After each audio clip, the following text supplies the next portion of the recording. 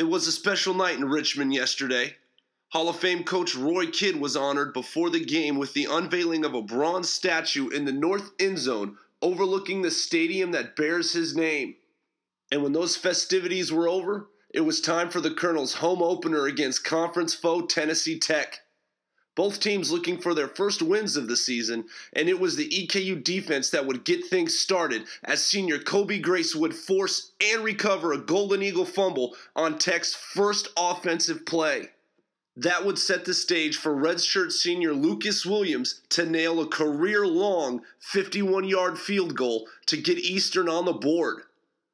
Still in the first, Colonels with great field position at their own 40 when Tim Boyle hits tight end Dan Paul in the flats for an 11 yard gain, putting the offense in TTU territory.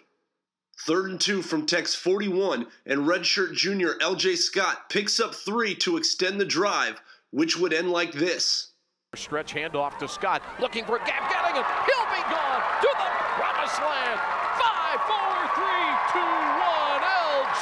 Scott gets the end zone. Eastern Kentucky would hit the PAT and lead by 10 going into halftime. Opening drive of the third quarter, and once again the Colonels' defense stands strong as they stop Tech on this third and one before redshirt freshman Dylan Denault forces a turnover on downs by dropping Yeedy Thainrat for a three yard loss. Ensuing possession, Boyle completes his first two passes. Then sophomore Daryl McCleskey picks up five yards to set the stage for this familiar duo. Play action Boyle oh, going for the long one. They've got a man out there, and it is a Colonel touchdown to Marcouche. You could only keep him down so long. Ryan Marcouche, a 38-yard touchdown from Tim Boyle, the first of the night through the air. EKU leads 17 0. The Golden Eagles would end the chance for a shutout as they would find the end zone on their next possession, and we go to the fourth with Eastern up 10. The first play of the final stanza would be Tennessee Tech trying to convert a fourth and two. Sale seeing Taquan Evans coming towards them, lets it go early, and Kobe Grace likes that as he comes up with the interception.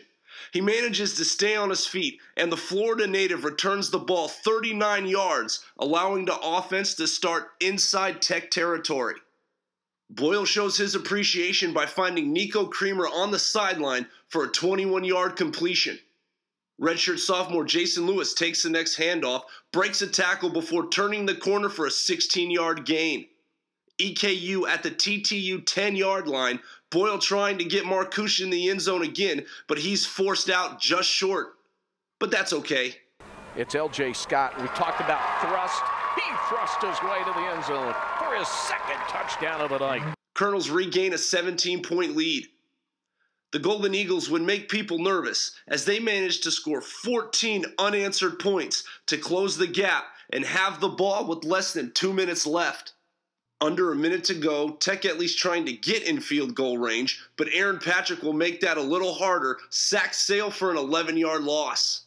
TTU forced into a Hail Mary situation, trying to buy time, but Luther Jean Lewis says no sale as he comes up with the sack that secures the 24 21 victory.